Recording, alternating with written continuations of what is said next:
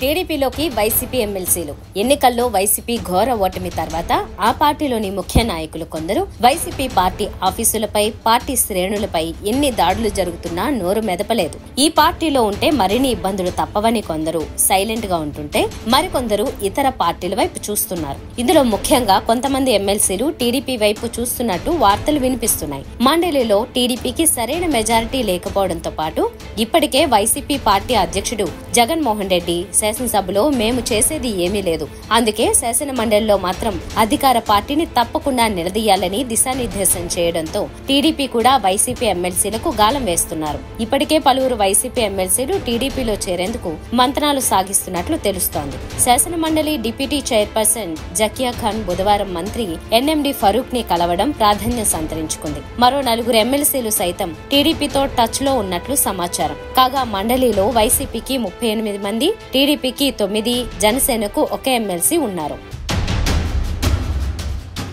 బాలికపై అత్యాచారం చంద్రబాబు ఆగ్రహం. నంద్యాల జిల్లాలో మూడవ తరగతి బాలికపై ముగ్గురు మైనర్ బాలురు అత్యాచారానికి పాల్పడిన విషయం తెలిసిందే. ఈ ఘటనపై సీఎం చంద్రబాబు ఆగ్రహం వ్యక్తం చేశారు. ఆడబిడ్డల సంరక్షణకు సంస్థాగతంగా మెకానిజం కావాలి. పిల్లలు తప్పులు చేయకుండా తల్లిదండ్రులు నిశితంగా పర్యవేక్షించాలి. కేజీ నుంచి పీజీ వరకు పాఠ్యాంశాల్లో మానవతా విలువలపై సిలబస్ చేర్చుతున్నాం. ఈ ఘటన కలచివేసింది. ప్రభుత్వం నేరాలను అంగీకరించదు అని సీఎం చంద్రబాబు ట్వీట్ చేశారు.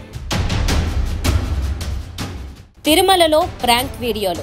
తిరుమలలో యూట్యూబర్ ఒకరు చేసిన ప్రాంక్ వీడియో కలకలం సృష్టిస్తోంది. ఈ ఘటనపై వెంటనే చర్యలు తీసుకోవాలంటూ మరోవైపు టీటీడీ పోలీసులను కోరింది. నారాయణగిరి షెడ్స్లోని క్యూలో వెళ్తూ మరో కంపార్ట్మెంట్ తాళాలు తీసే ఉద్యోగిలా కొందరు యూట్యూబర్లు ఒక ప్రాంక్ వీడియోను రూపొందించారు.